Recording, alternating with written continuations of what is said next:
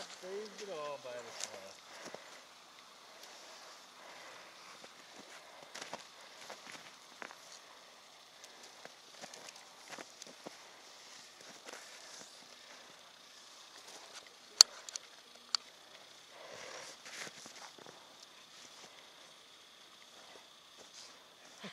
look at who's going after him.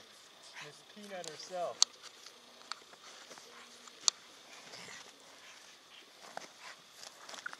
Ooh. Flat on his back. Whoa! right in his head. I got you, smack! Right between the eyes, didn't I? Yeah, you're lucky I didn't pack that hard.